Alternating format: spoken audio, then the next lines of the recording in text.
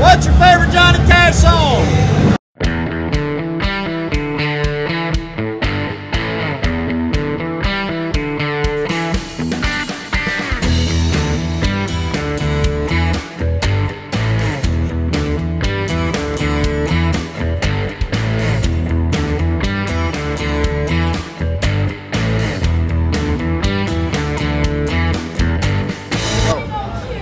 Standing here in front of Tootsie's, one of the legendary honky tonks in Nashville, is not the most legendary.